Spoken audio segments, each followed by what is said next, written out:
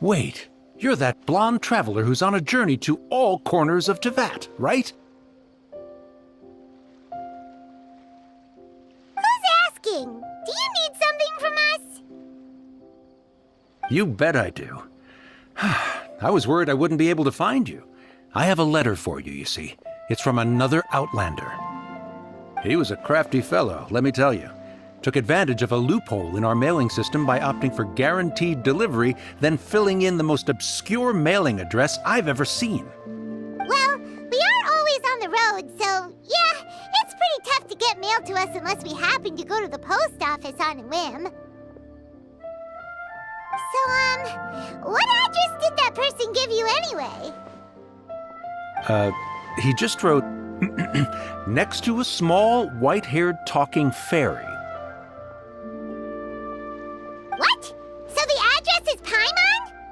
Yeah, exactly, right? And if I failed to deliver the letter, I'd have been bound by regulation to compensate him. Really, he got me good. I count myself very lucky that I ran into you here. Of course, here it is. All yours. Come on, Paimon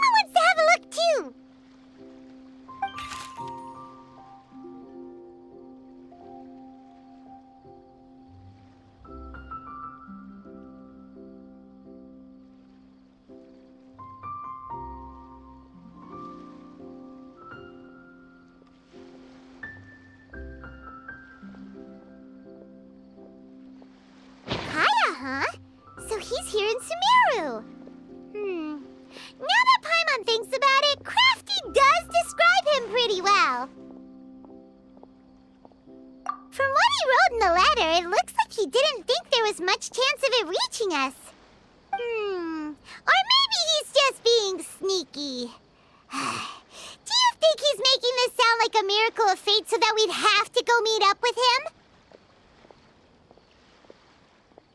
Eh, yeah, you're right. It's always nice to see old friends. The letter says that he hangs out at Jafar Tavern every afternoon. Perhaps we should drop in on him then, huh?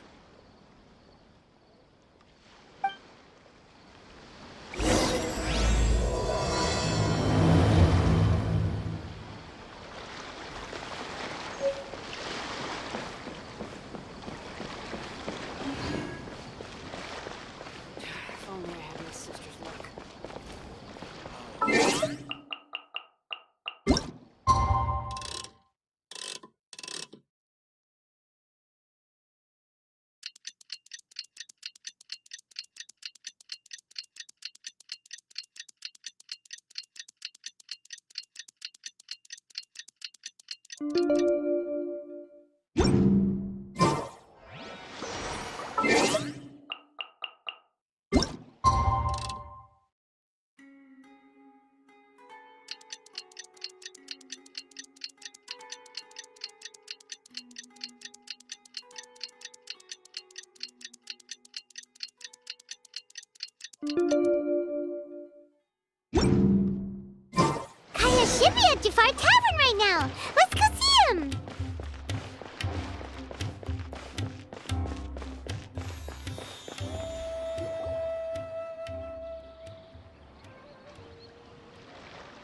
I'll have something I haven't tried yet, boss. Uh, sorry, sir. I'm afraid you've already tried every type of liquor we serve.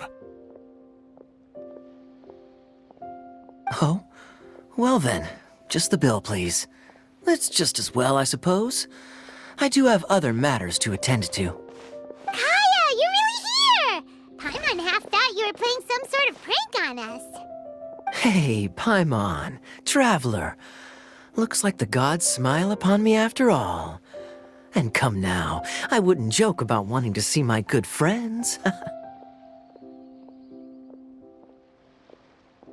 a second. You must be here on official business, right? What do you think you're doing spending every afternoon drinking at the tavern? You itching for a lecture from Jean? Not at all. The acting Grand Master positively terrifies me. Why would I ever do anything that might displease her?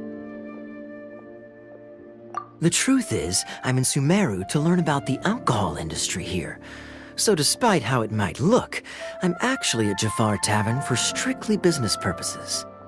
Sumeru spices are famous the world over, and it's long been rumored that this fine establishment was where a certain very popular spiced cocktail was invented. That's why the Knights sent me, their foremost expert in alcoholic beverages, to come and see if it is as good as the rumors say. And how did that go? So far, so good. I'm already in talks with some spice merchants in Port Ormos about some potential collaboration. Yeah, that does sound like a great business opportunity. Guess Dawn Winery and Master Diluc are gonna make a tidy sum from this one too, huh? Well, let's not get ahead of ourselves. Whether this lucrative opportunity gets passed along to Dawn Winery or not depends on how nice I'm feeling. Hey, using your job to settle personal grievances isn't very knightly, Captain!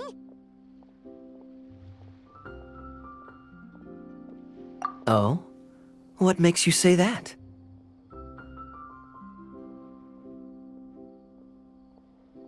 Very sharp of you. I wouldn't say I'm familiar, though. I just came here on the sly once, when I was very young. Hmm. And? Do continue. Do I have to? When I said we could talk about the old times, digging up my past wasn't exactly what I had in mind. Well, all right, since you're so interested. Like I said, I was very young then. Dawn Winery had only just taken me in.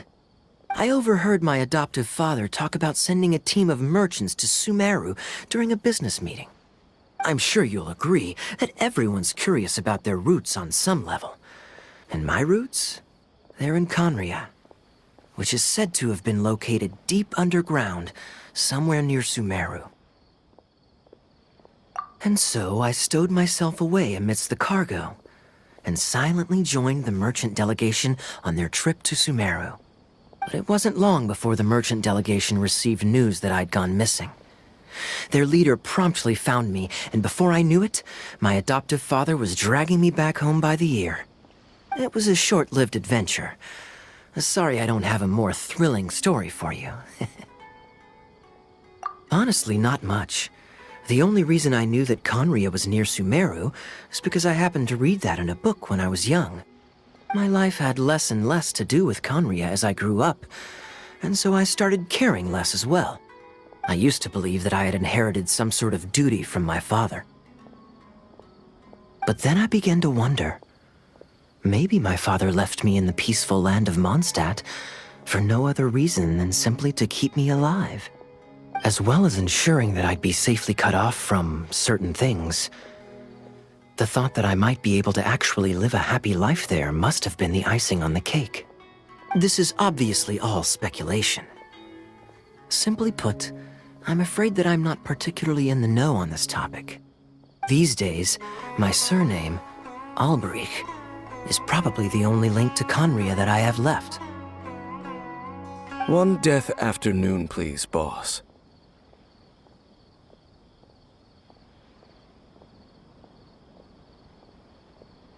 Tell me, what do you know about the significance of that name, Alberich? Dainsleif? Ah, you've decided to join us. I was wondering how long you planned on listening in. I believe I've seen you before in Mondstadt. Dainsleif, if I'm not mistaken. So you remember me. Then we are already acquainted, Kaeya Alberich, descendant of the Abyss Order's founder. Huh? What? I take it that you weren't aware of this until now, Kaeya. Or you wouldn't have been so forthcoming with your surname. Oh my. That's quite a lot of baggage for a surname, isn't it? Though I must say, it does confirm an old suspicion of mine. I suppose that was why my father left me in Mondstadt after all. I'm surprised that you take me at my word without the faintest hint of skepticism. Well, perhaps what you told me just happens to answer some questions I carry in my memories. And in any case, I recognize your eyes. You're a pure-blood Khaenri'ahn, aren't you? Very clever. Forgive me for being direct, but I sincerely hope this new knowledge doesn't change anything. If you've already let go of your ties to the past, then keep it that way. Kaeya, you're not involved with the Abyss Order in any way, are you? Hey, hold on now. This conversation has taken a rather sudden turn for the deadly serious. And I'm afraid that as someone from Mondstadt, I'm not accustomed to this sort of atmosphere. So what if I know my ancestry? Do I strike you as the type who would be bound by that kind of thing? Relax. I'll be just as delighted to hunt down the Abyss Order tomorrow as I have always been. Either way, looks like we're out of time. I've got a spice merchant to meet in a minute, so I'll leave the three of you to carry on the conversation without me. Uh, well, alright then. You go do your thing, Kaeya. See you around.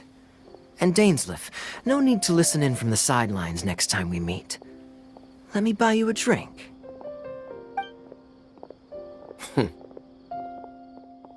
You don't really trust him, do you, Dain? You're both from Khaenri'ah, but you get on like oil and water. The fact is, I still do not know him well. It would be meaningless for me to jump to conclusions. But can a person truly be unaffected by their ancestry? This remains to be seen.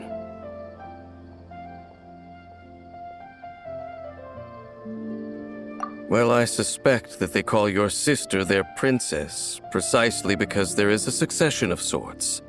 Oh, so if she was the founder, she'd be the queen, right?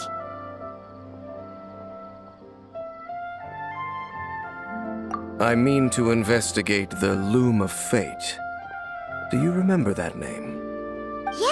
The Abyss Order's evil plan! We learned about that back in Mondstadt. Not new. Not exactly. My memories suffer from erosion. But while I was recovering my health recently, I suddenly remembered something. Your sister. She mentioned the Loom of Fate back when we traveled together. Apparently so. I was also quite surprised when these memories tallied up. I recall that we were traveling to Sumeru when the matter was brought up. So, you're going to the place that she mentioned back then? Correct. At that time, they must have been introduced in one way or another to this concept. If I recall correctly, we were somewhere in Avidya Forest then. Maybe we'll discover some secret that's lain hidden for hundreds of years! No. Now is not the time. No, it's just. I'm still waiting for my drink. Seriously?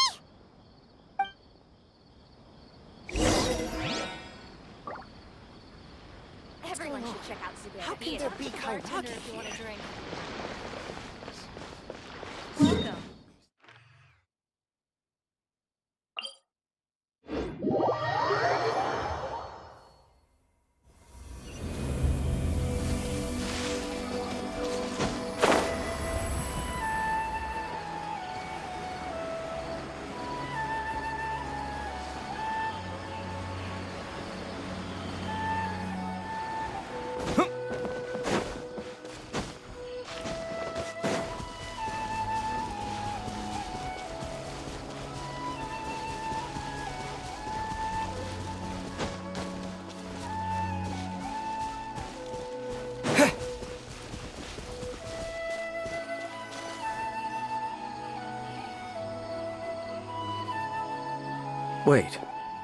This place, it's familiar. What about it? It looks pretty normal to Paimon. Was it like this hundreds of years ago, too? Yes. The forest has barely changed from how I remember it. There is very little human activity here after all. Let's search the area and see what we can find.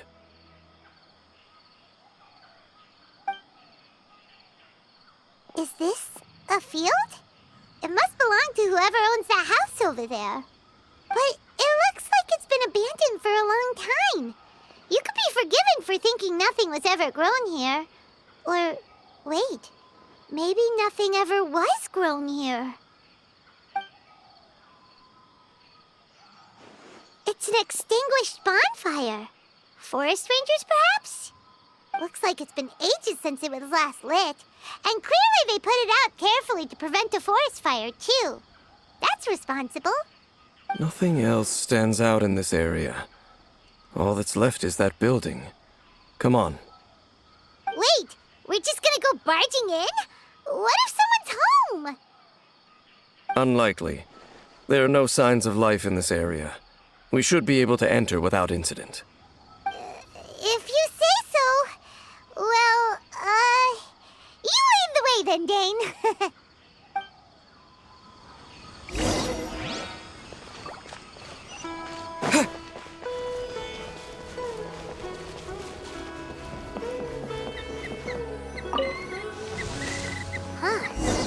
There really isn't anyone home. Ugh, this place is so dusty. Paimon bets no one's lived here in years. Investigate carefully. We mustn't miss a single detail.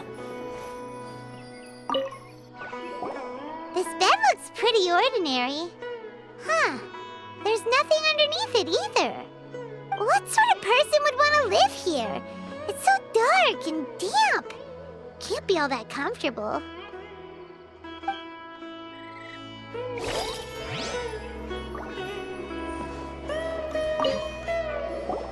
There's a box over here. Why don't we open it?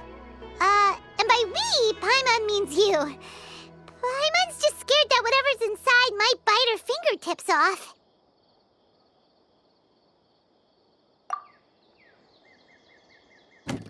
Huh? This is a mirror. It's broken too. Was this a makeup box? Hmm. That's kinda disappointing. Paimon was hoping we'd uncover some super big secret, especially after Dain talked this place up.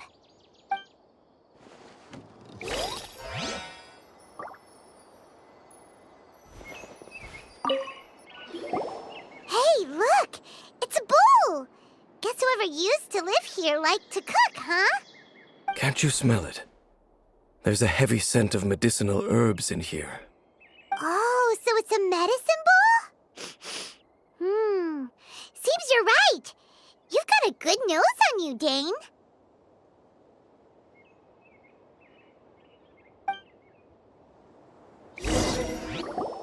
Doesn't look like there's anything else worth our attention here. You sure we're in the right place, Dain? My memories are quite foggy, but my subconscious and instincts both assert that something once happened here. But we'll exhaust ourselves if we search aimlessly.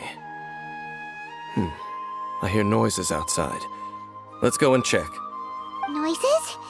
Is it... It's not much. Just some minor adversaries.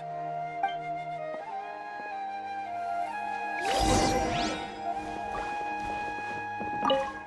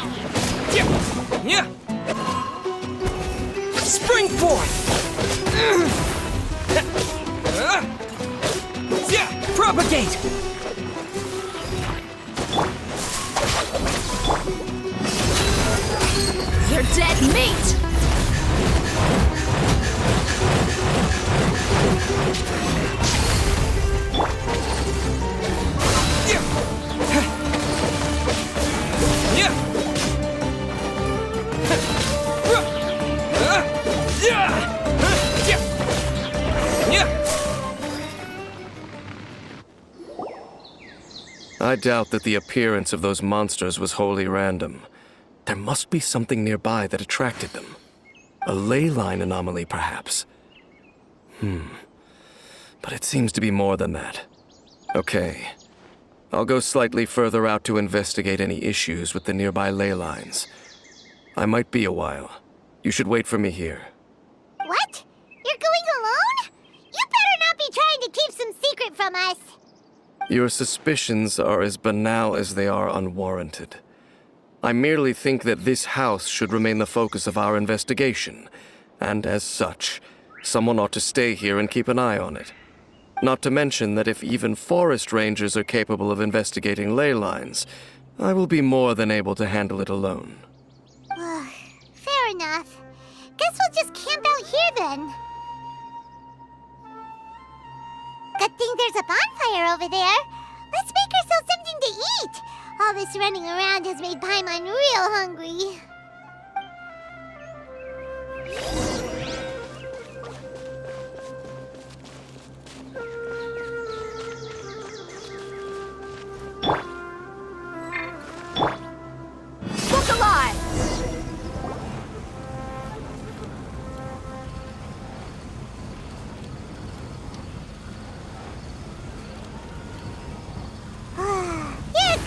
As good as ever. Even if there was no other reason, the food alone would be enough for Paimon to stick with you.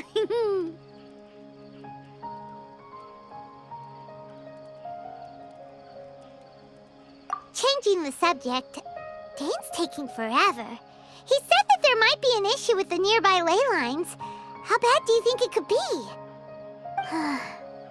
we came together, but now it's back to just being the two of us again. You know, now that Paima mentions it, we really have spent lots and lots of time together, haven't we? Um, so don't take this the wrong way or anything, but uh, do, do you ever get tired of Paimon being around? Oh, you stop it! Now you're embarrassing Paimon. hmm. So, um, next question. Don't know if it's okay to ask this, but Paimon's curious. What was it like traveling with your sister?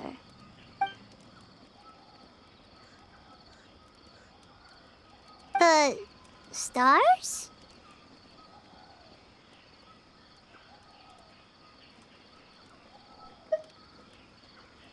Wow.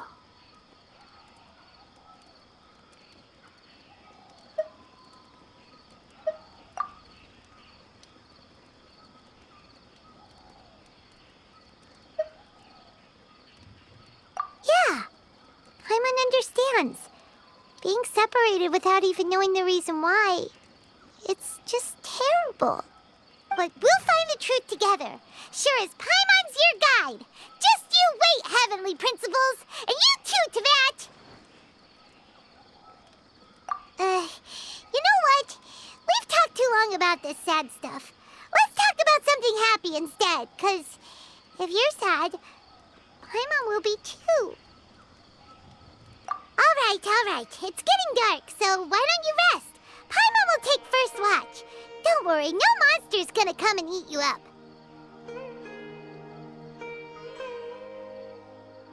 Oh, come on! Don't say that!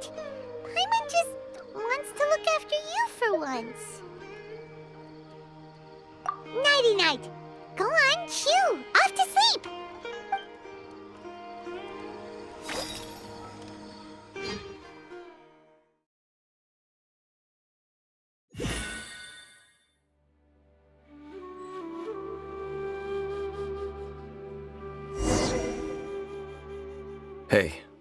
Time to wake up. The sun has risen.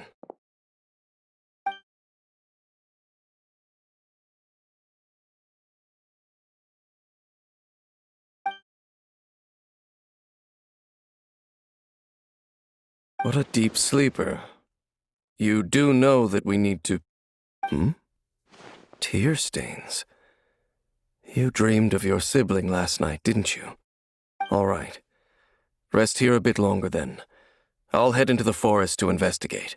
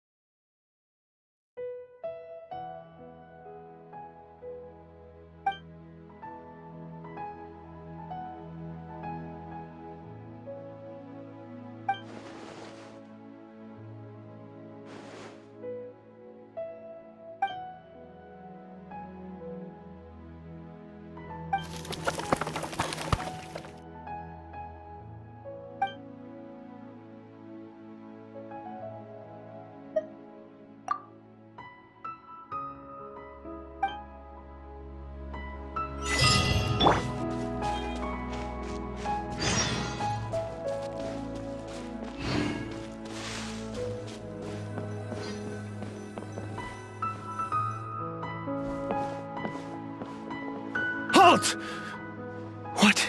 Do you think you're doing?